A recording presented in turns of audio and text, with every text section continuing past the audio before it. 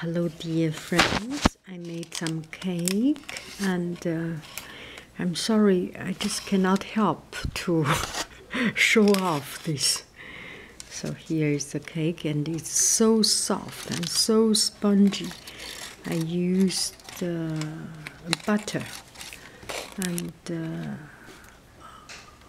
homemade yogurt that I made yogurt.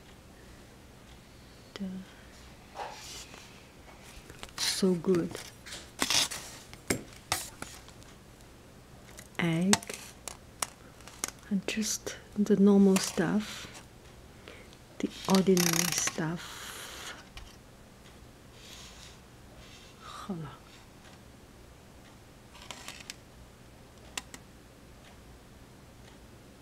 It's a quite uh, pure and uh, simple cake.